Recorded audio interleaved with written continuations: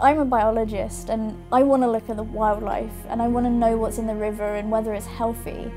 But when I go out on the boat and I bring in those nets full of fish, it's not just fish. Actually, quite a lot of it is plastic. And I really can't look at those animals and look at those fish and work out how healthy they are, if their populations are stable or anything like that, without considering that plastic. We ingest a credit card's weight worth of plastic every single week. That is five grams of microplastic that we're ingesting every single week. Good morning, everyone. My name is Melati. I'm 19 years old. I'm not a CEO or a head of an international institution. So, without a business plan, without a strategy, we started an NGO called Bye Bye Plastic Bags. And after six years of hard work and massive collaboration, as of last year, Bali officially implemented the ban on plastic bags, straws, and styrofoam.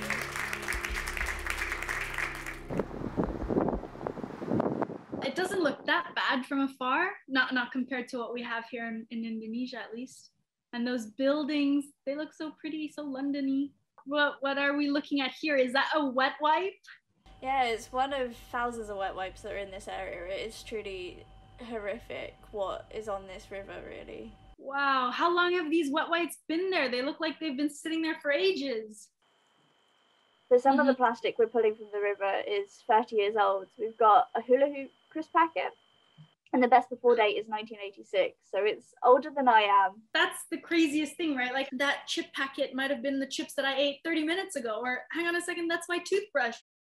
After we're done using it, where does it end up? How can it be legal to flush that many wet wipes down the toilet that they end up in the River Thames in that quantity?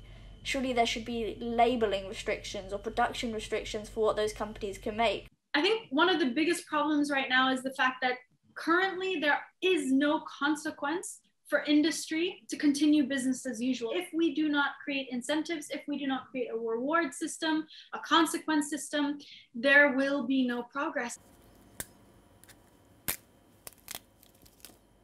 I look at the animals in the Thames and how much plastic they're eating. And then it's a case of what material is that? Is that polyester? Is it nylon? And that really helps us understand what the potential sources are. So I don't know if you can tell, but you see this sort of ball of plastic? That came from the stomach of a crab and it is over a hundred pieces of plastic in here. No so way. If we're looking at a crab that's body is about five to seven centimeters, so it's maybe this sort of size. If you've got a piece of plastic that size, it's huge by comparison. That type of data, you know, that information is oftentimes the missing link to move policy right? So data influences that policy because a lot of the times as well next to the you know excuse that people are not ready for change it's always that we don't know enough right? And and that's so frustrating for me to hear as an activist because i know there are people like you out there gathering all of this really necessary information. And so connecting that to policy and to those decision makers you know it, it moves the needle